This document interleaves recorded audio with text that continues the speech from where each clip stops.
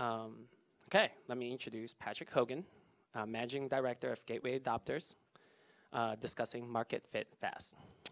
Patrick has over 25 years of experience helping teams bringing breakthrough concepts to market quickly. He helps teams avoid the things that kill most new projects, bringing clarity and precision to their vision around customers they target, the problems they solve, what they build, and how they engage their markets, often cutting time to a compelling release by 75% compared to normal practice. Practi- uh, Patrick has been a founder or an executive at startups in SaaS, AR, VR, online media, and consumer services, and led teams in large enterprises like Adobe, M- uh, Microsoft, and Av- Avanade, Avanade, yes. Avanade to develop new solution concepts, platforms, and tools. Uh, as a mechanical engineer from UW and an MBA, Patrick enjoys tackling the challenge of bringing together traditional industries with the latest high technologies like analytics, AI, ML, IoT, and XR. Uh, without further ado, Patrick.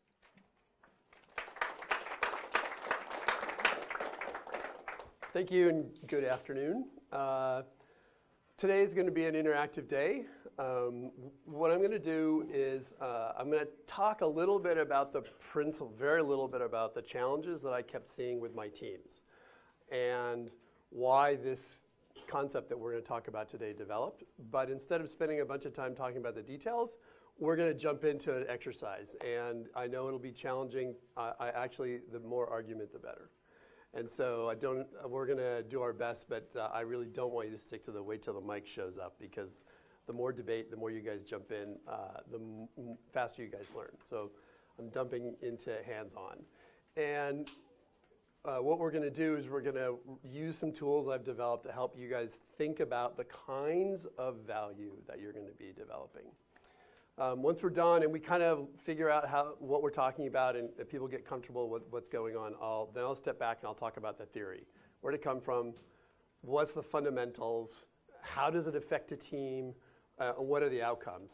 Like I said, almost every team I've engaged where I've gone through a workshop with this, actually not a workshop, any one of their normal planning meetings, I typically cut their time to a release by three quarters. They're just building stuff they don't need to be building now and they didn't know it until we walk through and ask some hard questions. After that, if you guys are interested, I'll call it kind of the after hours session. Um, if you want to learn how it came to be and how I've identified this particular problem over and over and over again and hammered down and refined to create what you guys are going to experience today, I, I have time to talk about that. So that's been uh, really where I've focused my career. Why I left engineering and went and got my MBA is what are these patterns for finding the best practices and, and how do you develop uh, something that can really unleash a team? Um, so before I jump in, are there any kind of burning questions before we uh, jump into the issues? Nope. All right. So as I said, I, I, I've been with many teams. I've done a lot of research into what kills teams and what they trip up on.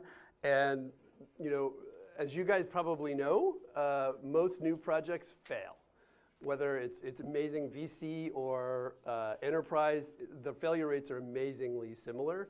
If you see anything that says it's better than uh, 85%, uh, then you've got to ask some hard questions because it consistently comes in the 90s as far as new concepts just not landing. And when they look, the pattern for why they fail is actually pretty simple. There's some simple things they don't do. And that's what I can talk about at the very end. But one, this is one where I kept finding it.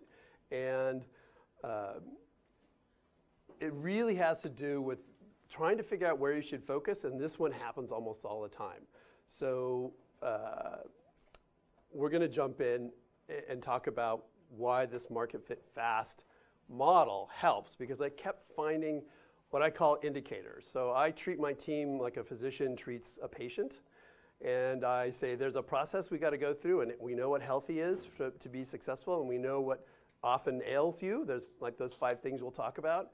And these are things that you keep hear, I kept hearing over and over. And when these were the top things, I spent and focused some time and I filtered out the rest and I thought about these. And do they really know if the problem they're solving is important or not to their audience? And how do they know? Uh, it, does the solution they're thinking about really a clear advantage over what is happening or what the alternatives are? Do they have an answer to that question? Um, is it big enough, and I use the word compelling to talk about this, is it compelling enough that, yeah, maybe it's better, but is it big enough to, to spend what's probably more money than the cost of whatever they're doing to stop what they're doing today, change, and move to something else? And research by some people, a guy named Mohan Sawhney uh, at Kellogg, says it's almost got to be 10 times better in order for people to actually go through the change process. So when you ask these questions, like a doctor asks patient questions, and you're not getting good answers, you start to, uh, bells start to go off. Um, other things that it might be at a management level, are we doing too many cycles and iterating too often before people say, yes, this is right?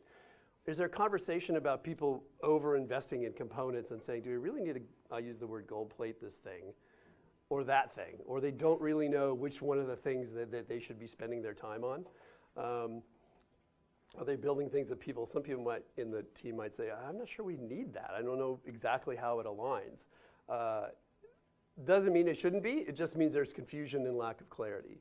Um, and then oftentimes, uh, and the thing that I find is the most liberating is they do need to build something, but they're actually just overbuilding it. And this is the, they're gold plating something they, they don't need to. And so when I hear these patterns, this is where this tool comes out and it has to do with uh, uh, uh, aligning, getting fit to the market need. And, and, here's why it's hard. And this is again back to the kept running into it and saying, well, what are tools to solve this? Is it turns out that people in their personal lives think this way. I'm going to talk about it, but they don't apply it in their teams. Is they think about the value in a product in the fact that there are different types of value, not just a linear value of high and low. There are some things that just have to be there. Once they're there, they don't care. I, I in, in the example we're going to do, talk about a family sedan. You got to have tires and wheels on the family sedan. It doesn't have to have Brembo brakes. It doesn't have to have performance rubber. People don't care. So it's required. But once you have it, if you spent more money on it, you've wasted your energy. So that's an example. Interior is a linear. Anyway, so there are different types of value, all within the one product. And, and labeling this different type of value so the team can take advantage of that dynamic and how people really value the work they're doing was the challenge that I was trying to face. So when I was getting into it and why you saw those indicators earlier is the instrument of high and low is just too blunt. It doesn't actually model how people think about what they're paying for, what they want to pay a premium for. Um, and it also locks you into the tyranny, and we'll get into this, the difference between priority and, uh, and sequence. And what happens is when we start using a more accurate language, you can actually change the sequence of what you do to get to your vision and develop value that you doesn't actually align with whatever priority might mean. Um, this is a tool that I've used in Waterfall, Agile.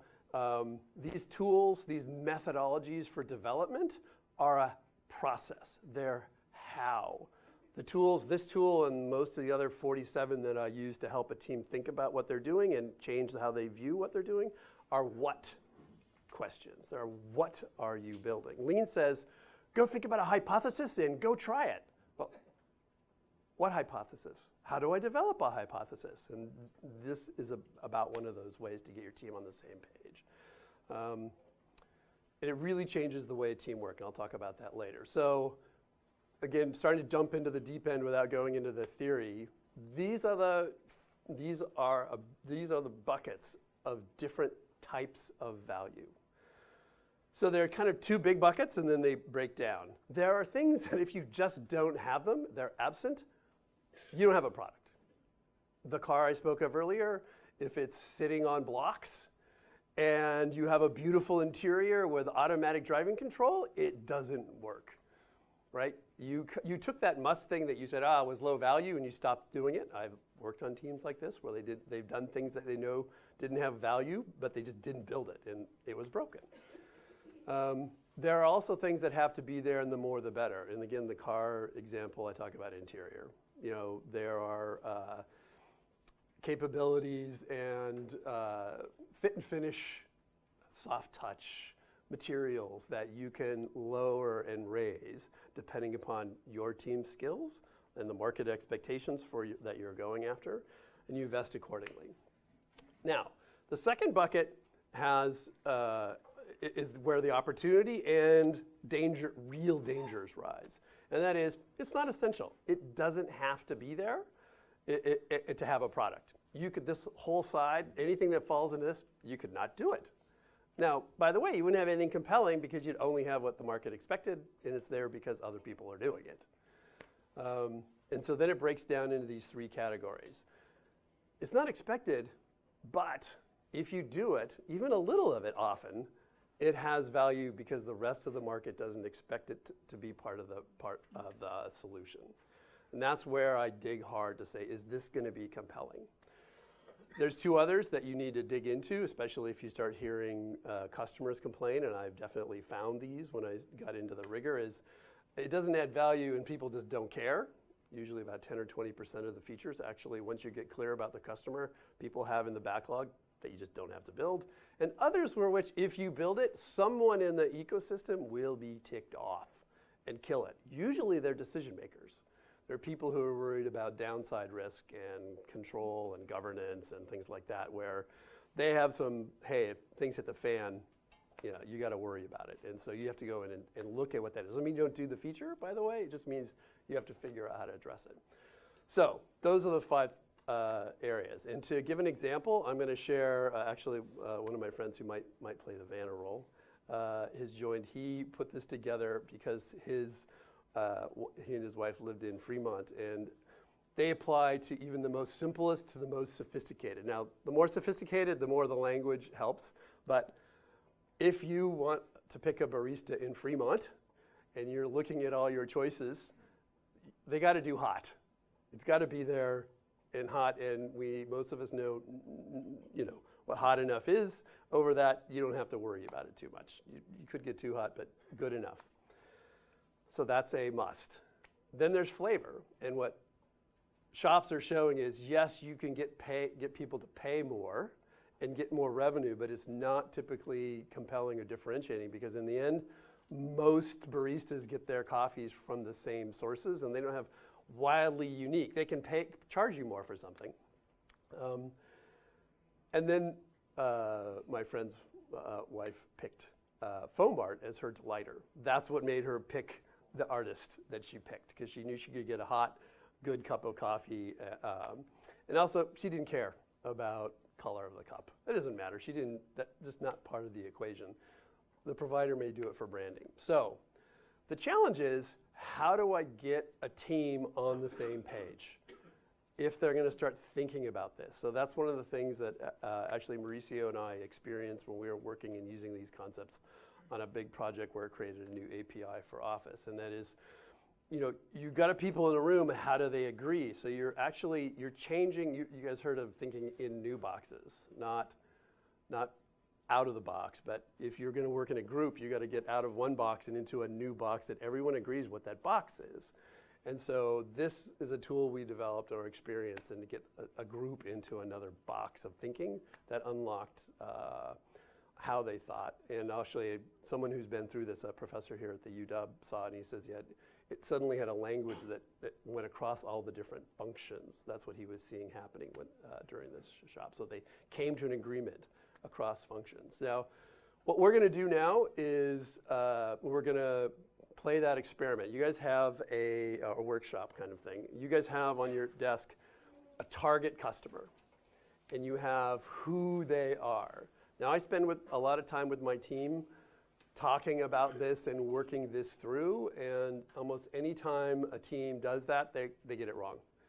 Uh, and that's okay. We go through it and we find out that different people on the team think they're going for, in this case, it would be more kids than two, or didn't have a, didn't know they had a minivan so that when they needed everything, they they really could use the minivan. Or there's aspects that I learn as we walk through it, but that's the target. And then we have a backlog. Now, I could, th- in this workshop, I've done it, uh, or this model is, uh, I've done it for remodeling a house. I, have had people who've done this and gone home and, and thought about their house, remodeling their kitchen. Uh, investing in a product portfolio, so you'll be able to actually think about each of these. We think about features, but they, were, they abstracted it up and said, oh, I got 10 products, which one should I do? And then the one that was most interesting is one of the uh, people we worked with, uh, he was brought up by a single mom and he got married. He goes, I, I don't know what it means to be a good husband. And so he used these models to say, I want to delight my new bride once a week. And so I have to figure out what that is and how do I, you know, adjust what I do to make sure I can do that. But today we're just going to, we're going to look at the backlog on a car. So you guys have uh, the target. Um, it's a, we're looking at building a family sedan. And the family is four people, mom, dad, two young kids, seven-ish. Um, they have a minivan. So when it takes, everyone's got to load up and go on a trip or they're going to soccer games and they're all together, they have that need met. But there's other needs. The kids are getting bigger, they might have a friend or two. They don't have to carry all the equipment, but they want to go somewhere. Uh, the, the father has got to let go of his two-door sports car, so he's going to sell that off. We know that that's going to happen. And so how do you want to uh, make this, get a product that actually appeals to this scenario? Uh, so that's why you see the, the uh, description I have. So for head of household who's replacing a car, a sports car, um, they're going to sell it. Uh, he needs to carry one child who's seven years old, so oftentimes the back seat's really important. Um, but he doesn't carry, have to carry the full load. They insist on five-star rating. It's got to be under the typical market price, which is uh, transaction, which is now a little bit over 33K. Um, and so what we're going to do is we're going to walk through this tool and answer the question for the backlog. Um, and you see the backlog. So these are the things that a team would say, okay, I got to build this thing. And here's where um, I'd like to now that we, we break down a little bit and I'm going to ask you guys where you think th these components are. And so um, does anybody want to pick uh, a feature? And we're going to debate where you think it belongs on the decision tree, where we'll walk through each one and we'll say, first, is this thing expected? So this gets you into the first two buckets. And then for the one side of the decision tree is, okay, does it add more value? And if it does, it goes into the must, which will put it at the bottom. If it is expected and uh, more value than the basic will add more, you know, we can get more out of it and keep investing. Uh, we'll put it in the linears, that's where we'll put it. And if it's not expected, but it does add value, we'll put it in the delighters. And also we'll have some conversation, we have the bailout conversations for um, if it's, uh, they don't care, it, maybe there's some products, if you pick a niche, there's things that you thought were important, suddenly, hey, they don't matter, or they might, might find it a problem. So what I've done on the, on the side is, is to try to give a representation of how a customer values the work you're going to do to create that thing. Does that make sense? So the must is, once it's there, uh, you could work on it and keep working on it, but they don't care. The linears are, it has that same dynamic, but the more you do, the better. There's got to be a point where you got to cut it off.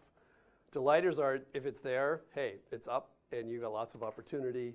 Indifferent, I don't care. You can do lots of work. It's not going to change anything. It's a button that has nothing connected to the other end. And there's indifference where you have to make sure that you don't pick somebody off.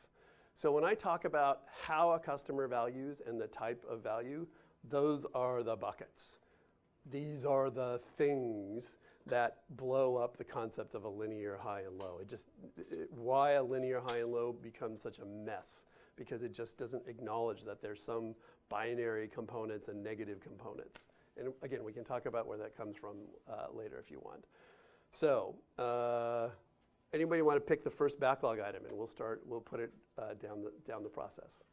Tires and wheels. All right, great. So, um, if, if, you want to find it in find it in there, okay. see it's uh, so expected. Yes, tires and wheels is the first thing we're going to talk about.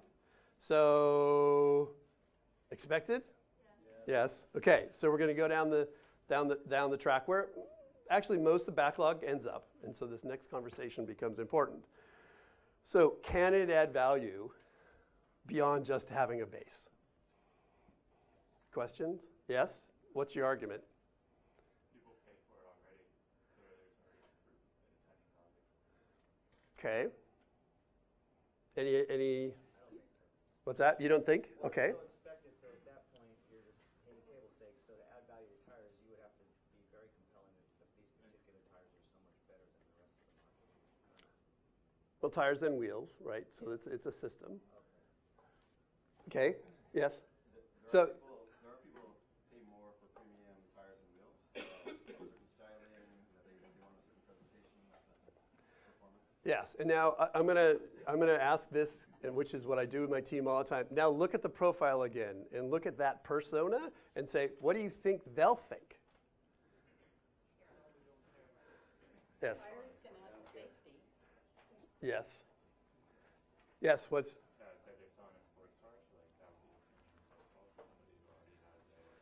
Yep. So, you're arguing, and by the way, I'm told I'm going to be biased right now. I know that you argued. So I'm going to say this guy drives a sports car now. He loves handling.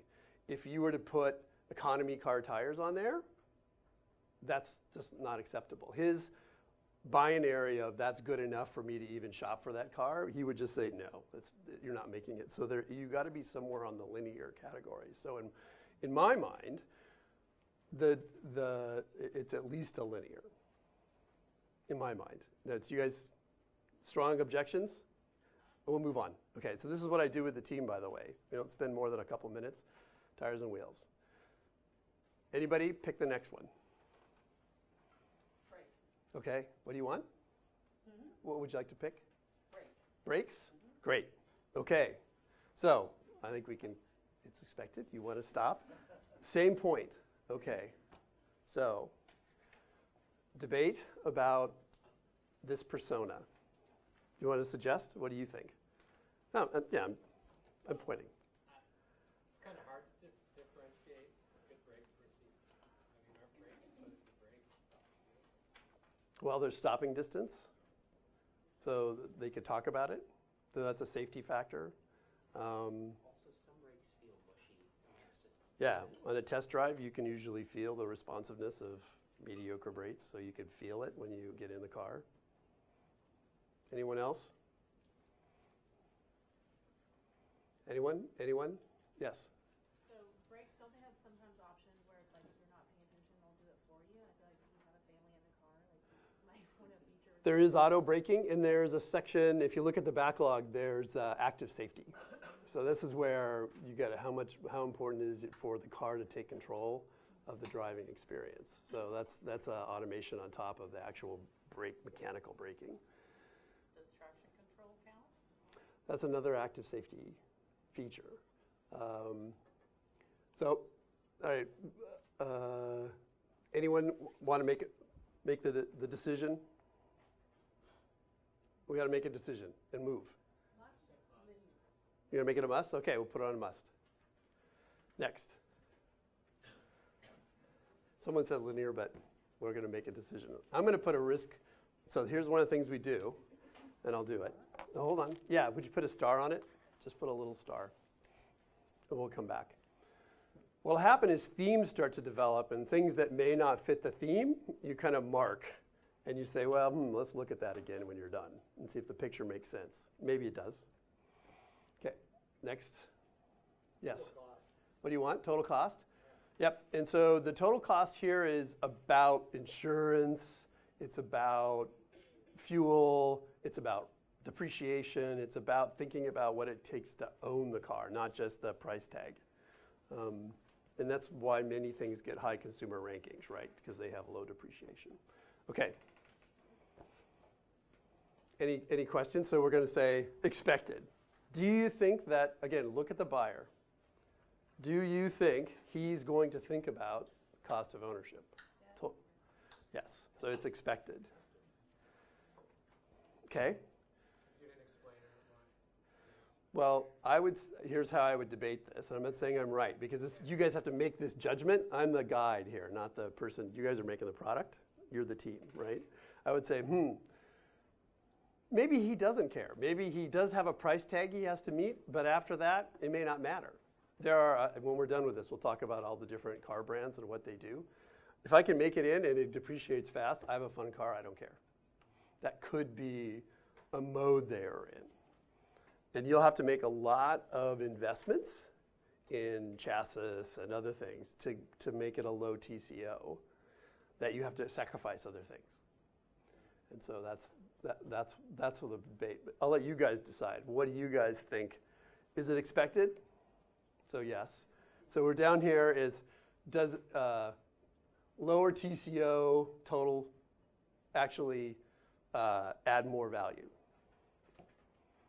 Yes. Family, yes, I would think costs are expensive, so if you can get a lower Okay. cost, then that's Okay, well, let's go ahead and, uh, let's go ahead and put it in linear. All right.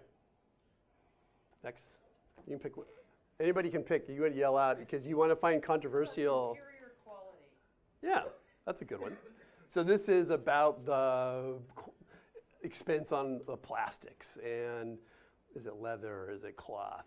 Yeah, I, one example I talk about, uh, you know, you could have everything from mouse fur cloth to, you know, Corinthian leather ventilated seats. You know, family cars somewhere cut off before you get there, but you could start at the low end because that gives you more money to go spend on brakes. So, how do we feel about interior? Expected, I'll go yes. So we're down back into our added value. Do you think that uh, more premium interior components will more likely sell this car? Yes. Now, why do you think that? After it hits a certain level, right? You got to get a certain level. You got to play in this family sedan market. testing. The, the family is going out together, you know, maybe they're going to a function. I got two small kids. They make messes. They want to be in a vehicle that makes them feel good. Uh, you know, a smelly car because you spilled milk on your on your good stitching and ventilated seats is not feel good. And that's the reality of the, you got a family that spills stuff, right? That's the family you're going after, and you're and you're driving like a sports car. Yes. I disagree in that he's selling a sports car, so if he's looking for to show up in something nice, he'd keep the sports car. But the fact that he's ditching the luxury item and settling for something that's a little more economical and more practical for his family, would entail that he's looking for something that might not be super nice just for his family's purposes. Yeah, so you, I think you're arguing for a must. You got a certain level and you're done. All right. In the interest of moving on, I'm going to put it there and I'll talk about why that why that goes there. There are brands that live on this. We do performance and our interiors suck. Sorry, my language. Next. Ride and handling? Ah, here we go. So, uh, ride and handling. What do we think? So, the normal family sedan, I would, I could, well, do you want to do you want to throw out your what you think? I would say it's not expected necessarily, Yep. because they're, they're downgrading to something they know is not the sports car. So Yep. they wouldn't expect.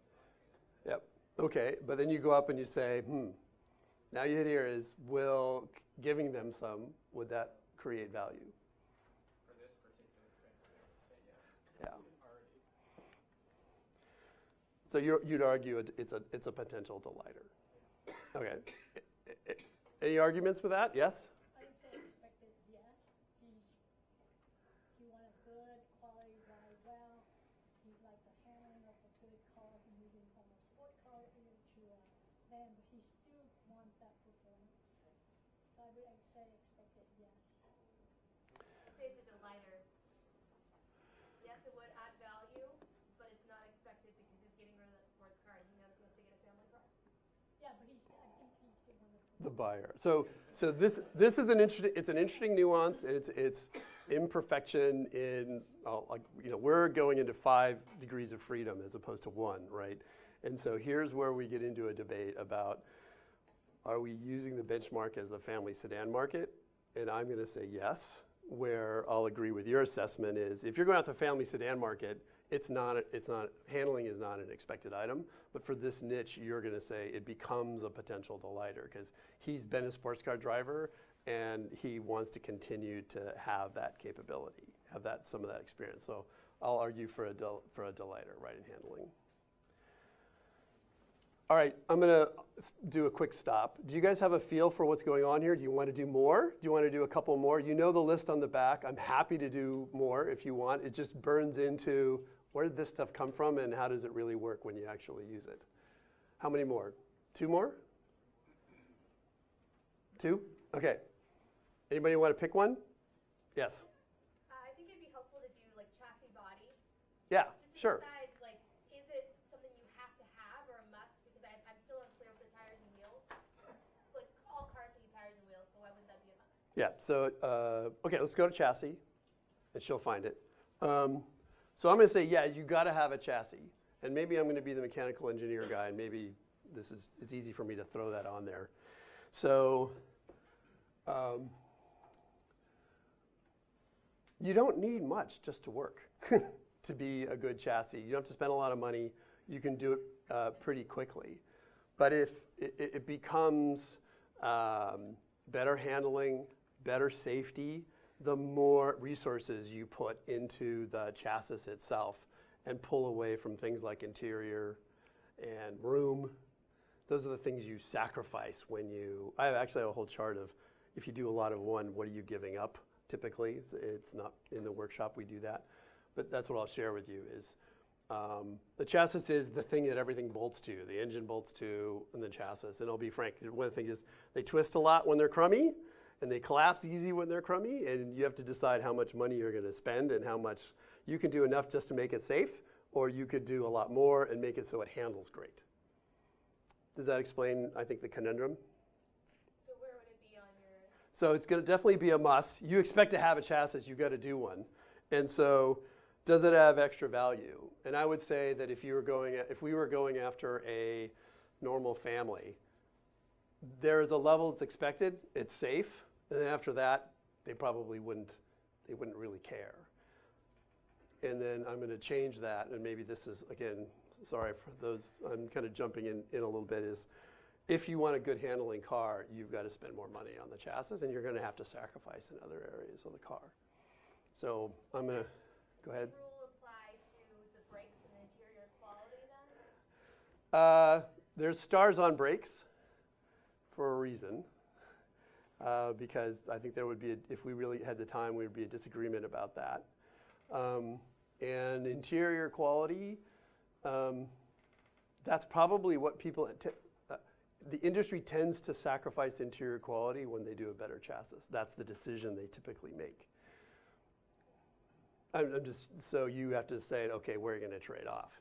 So, for the interest of moving on, maybe I jumped in a little. Uh, I was too active in that one, so I apologize. Because just because these are things that I don't expect you guys to, to know, we don't have the time to go to. I'm gonna I'm gonna put the chassis as a linear because of the niche you're going after. Yeah.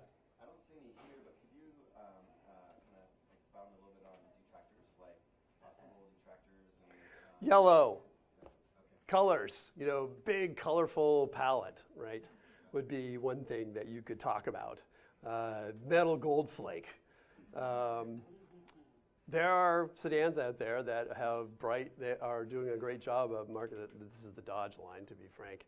They have really loud engines and big motors, and they they uh, they say a lot. But guess what? Most families not comfortable with that. So it's not, they're typically not purchased as a family vehicle. Does that, does that help? Does that answer your question? Absolutely. Just want some examples. Yeah, yeah. And uh, let me go, let me be technical for a second. In, uh, so I help make and guide uh, complex platforms. And um, everybody might like, you know, bring your own device and the freedom of using and doing whatever app you want to use when you want to use it. But there's somebody somewhere in the IT department who gets fired if data gets lost, right?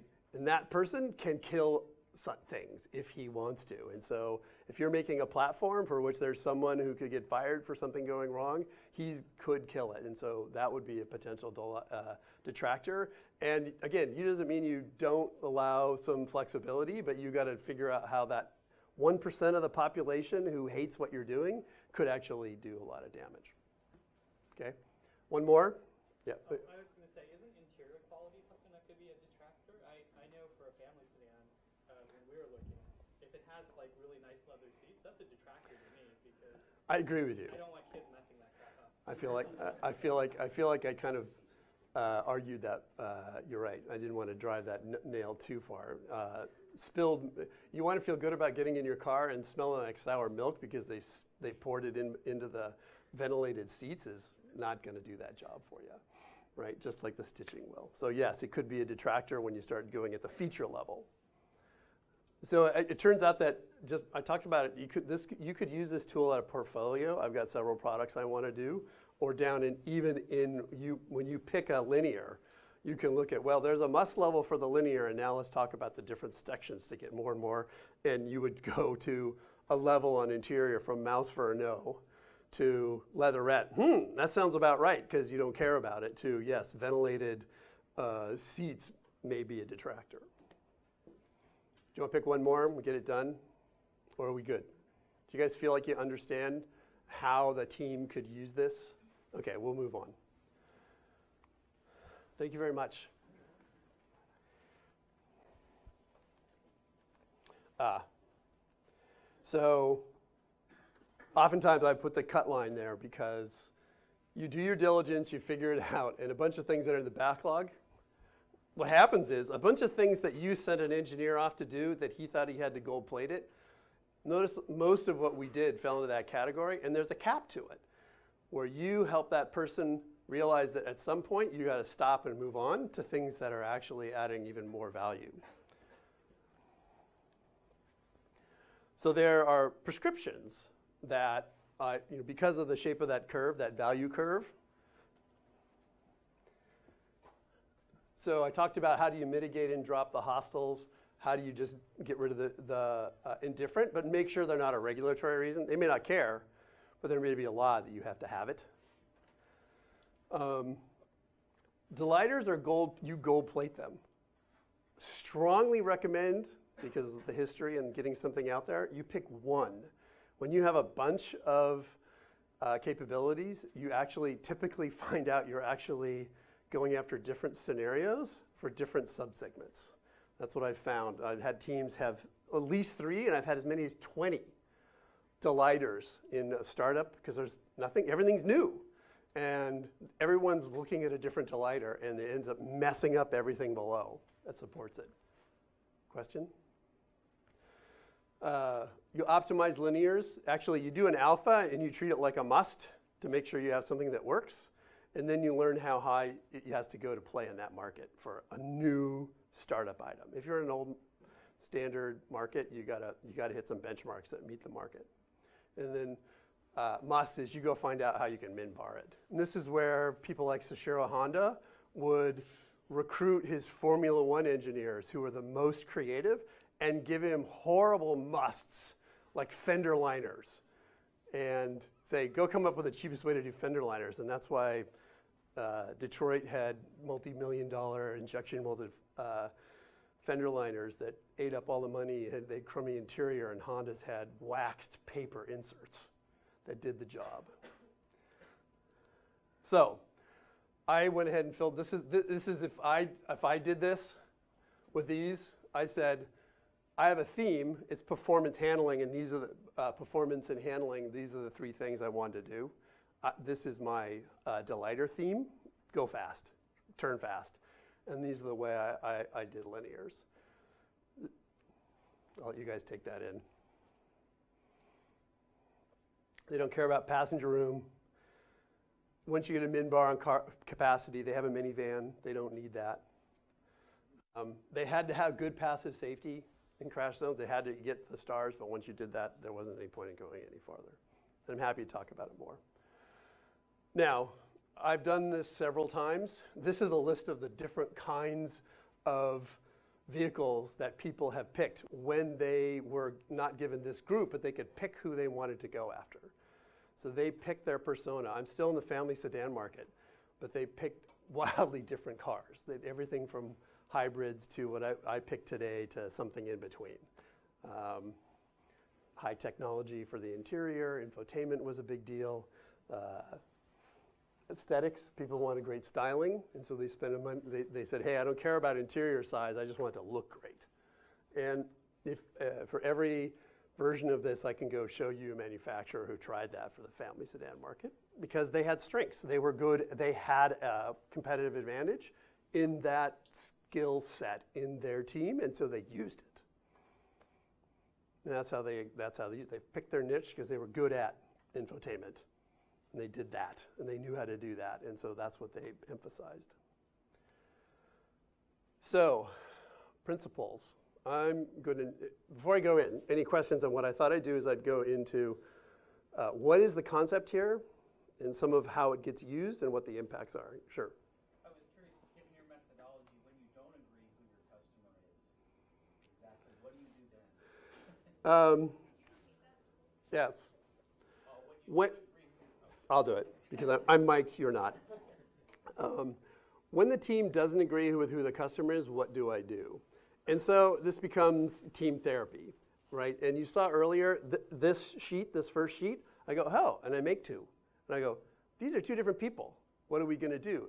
And by the way, the stack that we have is just a mess because they've got them all together and they've, they've judged them. And so you pull them apart and then you rerun it with that finer, more precise version, and you end up actually restacking everything. So that's what I do. Is like I create that and say, you see these two?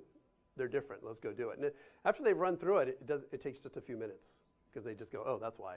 Question? More of an implementation question. Yes. So what's uh, the features to make their time, uh, as you show on the slide? Uh, how are you prioritizing the feature development? Are you just go by the most important feature from the bottom? Can I can I run through this part of it, uh, an implementation? And hopefully, if I don't answer your question, then then we can jump in. Is that good? Yeah.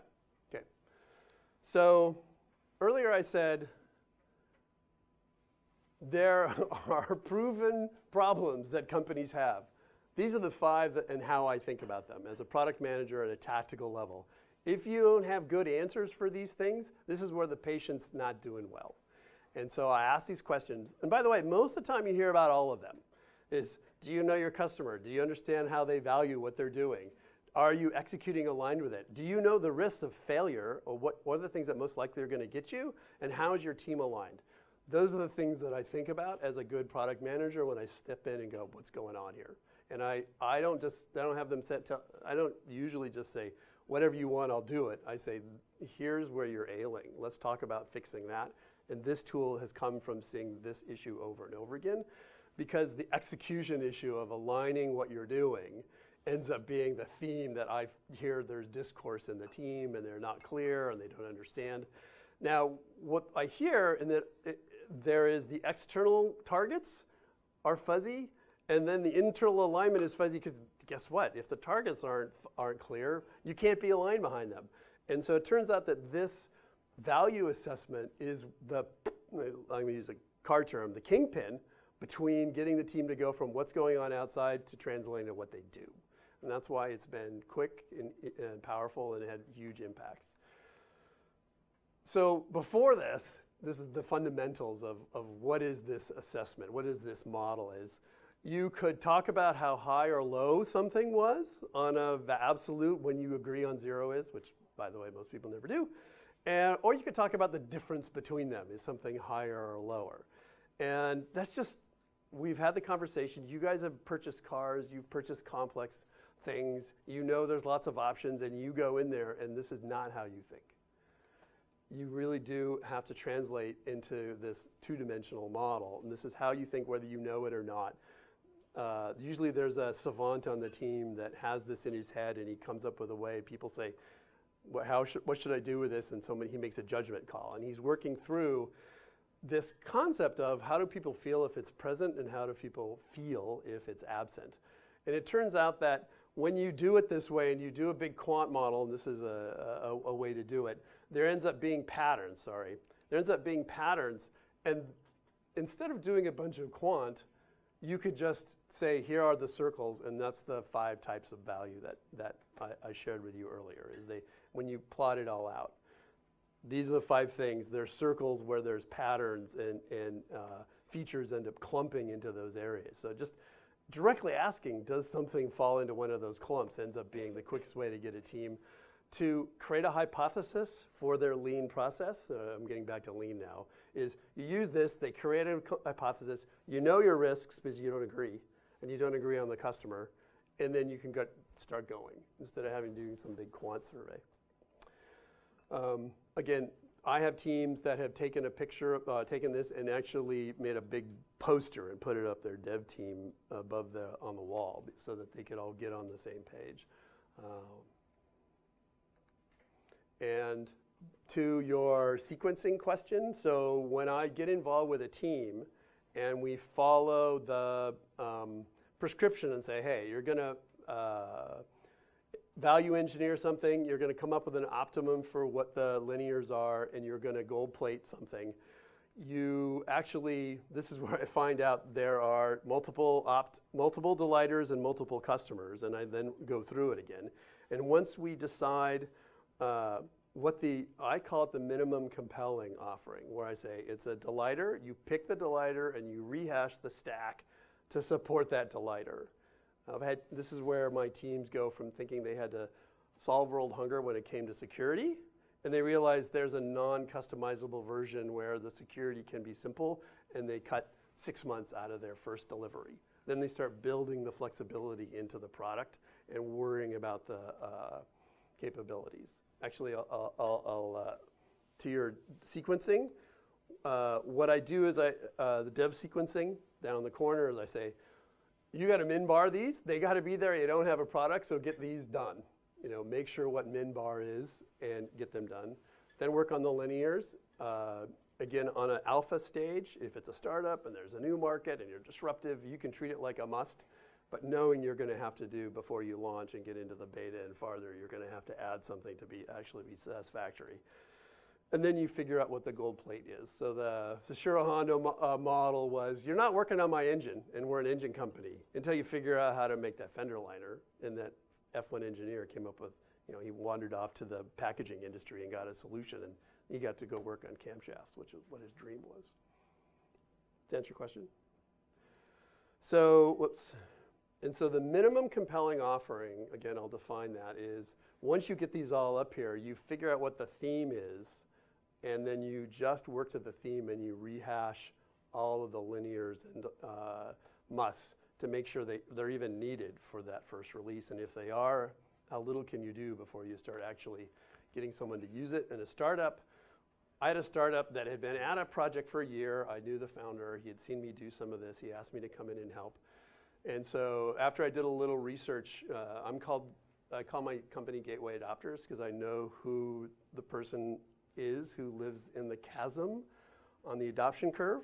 I know what the indicators are to find them. And I did about a week talking to them, knowing what their requirements are and how they were different than the mass market. And then I had a team meeting and we used the decision tree. And he, his team felt they had to have a fully customizable solution that could uh, change, people could customize content and customize look and feel. And uh, during the conversation and ranking in a normal meeting where we just started putting things in delighter mode, they realized they had delighters where they could do stuff that was super simple, non-customizable, it accomplished and had value. And then they had one that was slightly customizable. It was graphics, not content and this had both. And somebody was working on, the reason it was going to take nine months is because they had to do security for all this variability. And as soon as we knocked that out and said, Let, let's go see if this thing for gateway adopter personas has something compelling, uh, people were using it in six weeks. They were using a, a non customizable standard version that they were really happy with because it gave them a competitive advantage in their markets. Then we went asked about this as our next step, and they said, We don't care. doesn't have any value to us. So this team was going to do a march for three months before they had this capability, and they found out that the, the, the gateway adopters for their market didn't think this mattered. And so they moved on and did this. So I saved them about a man year. I got them revenue in, in six weeks instead of nine months, and then I saved them a man year of cost, and so they could get to the thing that people really valued. And that was a 90 minute meeting. So these are the things that happen. Um, I showed you that kind of the five things that cause problems. This is kind of right at the kingpin of that from the inside and outside. You get a nexus of issues and you bring together who the customer is, the scenario, the features that your team is going to invest in, and um, the decision you're going to make becomes transparent. Everybody knows why they did it. When they leave the room, it wasn't some savant who kind of said, ah, go do this. You put a title on the top of your feature that says, this is a must. If you're going to go do this, the most imaginative way you can make that must you know, is the best. Um, and this is where the teams think about competitive advantage, right? What do I do better than the other people who are going to try to that solution out there? And you're clear about it. Um, and so because you have the prescriptions at each of the layers, you can align how much work you do with how, how much people are going to value. Um, you understand what the delighter is. The MCO concept says we know what we're gold plating and we know the things we're doing are to support that value proposition and that MCO so you can land it. And if nothing else, test it and find out it's bad. But it won't take long because you're really clear about it and there's no messiness. You don't have a bunch of things. You have, you're testing one thing and you can get that feedback. Um, again, streamlining work. And it's easy to adopt. Uh, uh the team that I was helping, um, like I said, I knew the founder and they listened to me and I showed up at their planning meeting. But other than that, they didn't know me. And it was a normal meeting. And in 90 minutes, we realized I helped them think through the different kinds of value. And they, they are the ones that decided, oh, we can do this thing in six weeks that's not customizable. I didn't tell them they needed to do it. They were creative people and with a new language, the test guy, and the design person and the dev person could all have a conversation about, oh, wait, wait, wait, we could do this thing that's not customizable without all this other underlying stuff. I didn't tell them that.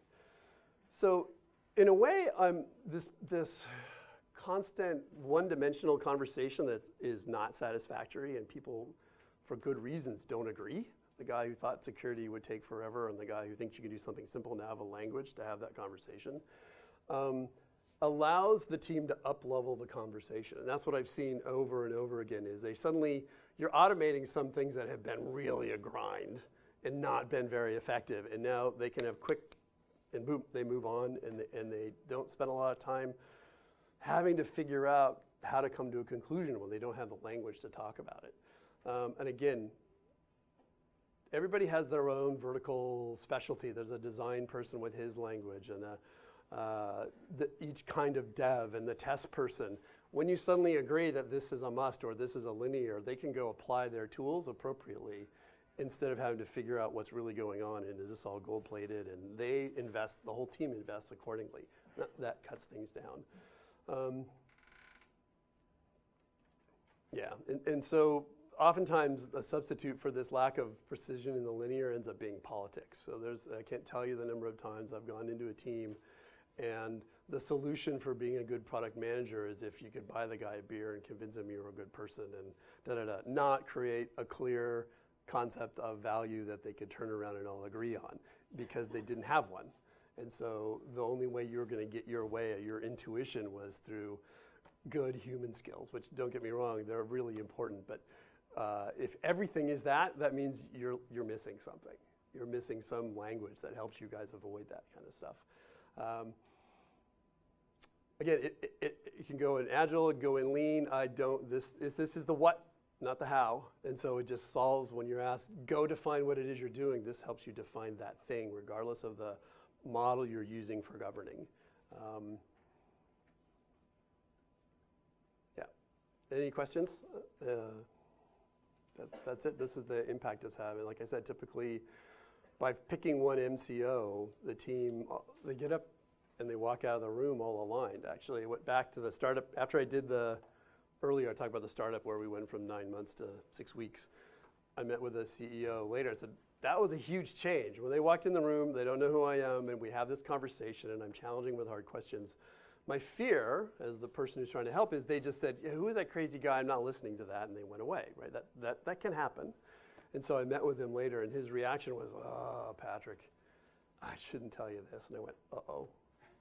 And he goes, when you walk in the door, it's a morale event for my team because when you leave, we know we're going to be aligned and a bunch of conflict that we had that were simmering are suddenly gone and we know how to align and decide what it is we're doing now so that uh, everyone in a nervous startup knows how they're going to go get the path to potentially getting money. They, don't, they know they're not guaranteed, but they know how they're going to land something and they know why they think it's compelling. So those are kind of things that have happened when I've helped my team. So this is how people have adopted it. It's a normal meeting. You walk through the decision tree and you put things, and you suddenly have a language to actually debate with each other with a whole new level and a cross function about what you're doing. You use the latest persona, and this is where you start surfacing are we really the right persona? So oftentimes the compelling story is wrong, or you have too many going at the same time, or you, you are actually argue, arguing about the right. You're right about your thing, but you're talking about a different persona, and you get that out on the uh, uh, and you apply it. You, then you implement the governance that is the prescriptions, right? Don't gold plate. You're not not not supposed to, and if it isn't part of the MCO, wait. Put it on the next release and the next compelling component, and I told you the story about knocking out a year's of dev in, a, in three months. Uh, this is where, again, I talked about it earlier. So I surprised a new groom. Again, wanted to be a good husband. Uh, he had to think about what he was doing in his life and where he spent his energy and time, and how he thought about uh, clearing the table was not clear the table unless you got it in the dishwasher. You that was the min bar, and you had to learn that the hard way. And uh, his wife really loved to socialize, and he was an introvert, so he had to learn how to do things that weren't what he naturally would have done if he hadn't thought about it. Um, other friends did uh, a kitchen sink. Uh, oh, I'm sorry, kitchen remodel, uh, and others have done complete house remodels where they've taught they've taught their builder and architect this so that they could uh, deal with new requirements. They ran into stuff that was just really not expected, and so they had to figure out how they were going to meet their budget. Um, and at the portfolio level, I'm also adding a little uh, addition here is over time, things walk down the stack. When you guys are in the market now, months from now, if you're fast, or years from now, these things will move from being a delighter down the stack. And you have to, if it's fast moving market, you have to define it. And you could actually use this at the product level where you're talking about each product. Okay.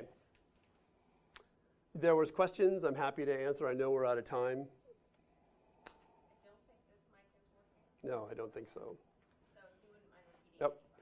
Yep. Um, I have time, and like I said, I, uh, if you guys want to hear of how, what the cycles were like and how I was able to identify what hurts and why we went here and what we did to develop the offering or this tool and others that have come up from this, I'm happy to spend time here. Yes? This should be a quick one. Could you sort of redefine succinctly like what linears are? Because I was a little fuzzy on it. Yeah uh, redefine what a linear is. Linear uh, is, is, the two gates, very pedantically, is it's required, but after satisfying the, the need, more does perceive to add value. Oh, so doing more beyond the bare minimum. Considered it. Adds value. Uh, that's why I talked about interior of your family sedan, right? It pays off at some, it, it, it lails off at some time. Any other questions? Yes. Like uh, three slides back, um, I was just curious if you could rehash uh, that's this one here. Yeah, the layer cake is what I call it. So earlier we had uh, a question that said, well, what if your team is got different personas when you find out when you're doing it? Or they have different definitions of compelling. They have several compelling capabilities. It turns out that they typically are actually going after different value props, that the themes that they were going are all mushed together, and the whole team is. Some people are aiming at this one, and some people are aiming at this one, and there's a bunch of discourse about You know, this guy thinks he's got to build uh, security that's, that can take anything, and this guy's just trying to get something that's uncustomizable out the door, and they're at each other's throats all the time. And so you define what it is non customizable, slightly customizable, fully customizable. This guy was happy after the conversation because he realized he had to do really a really simple version of security first. Does that help? Yes. So you probably heard about the uh, AWS story, right? AWS. Uh, Sure. Amazon Web Services. Uh, I just read uh, Jeff's letters to the shareholders, and uh, when they started AWS, they realized that customers do not know what they want. Yeah. Right. That was maybe 10 years ago, and uh, they built something. The first thing that they built is S3, and S3, you know, did not really pick up really fast, but then eventually, now cloud is everywhere. So how does this model help shape when you, your customers, your customers don't, do not even Yep. know what they need? And so I think the, the way I have used it to help a team think about it, in fact, I'm helping a team now who's developing a platform. They think they have a platform, and we're saying, what's compelling? It may not exist. And so what I do is I run through an exercise of what, what, is, what makes them write a check? What is the problem that you can solve? And then I have my team come up with delighters that aren't expected, that actually align with the market need that everyone's saying, ah, I'm not meeting my need. This particular team, for instance, their customers keep coming to say is, can we rev our app quickly without a giant pain? Nobody's got a solution for that.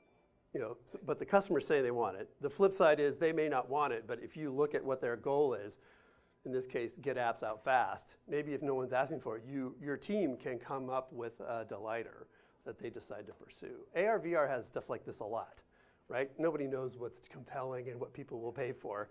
And so you have tons of ideas. In fact, that's the biggest problem I have with this, or how I use this the most is they have 50 ideas about what can be compelling. And so I spend my time saying, yes, this may be a feature, but what is the scenario problem that you're actually aligning with where you create value?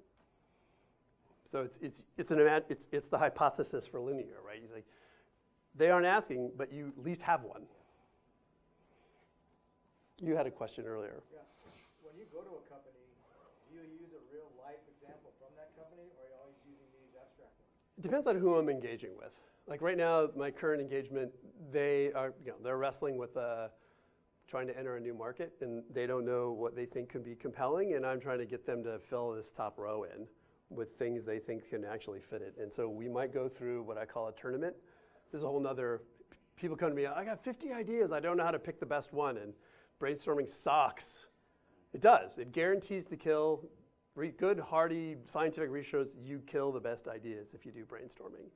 Um, and there's lots of good reasons. So, uh, what we're working to do with them is a tournament model where we come up with Olympic like three criteria that people know what the outcome needs to be. You know, the criteria for what the goal is, even though they don't have an idea for it. And then you do A B testing and then throw out the score, and A B testing and throw out the score, and you work through the brackets. Does that answer your question? So, uh, some, I know people want to leave, and you, you're welcome to leave. What I, if you're, if you'd like to stick around, the thing that I would, I get more excited about than this tool because I have 50 of them, is how do you walk into a situation and figure out which tool to pick, and get better at using that tool when you keep finding the same ailment. So that's the next handful of slides, and unless you guys are going to kick me out. I won't kick you out, but we'll close the online session. Okay, sounds good. Yeah, sure. All right.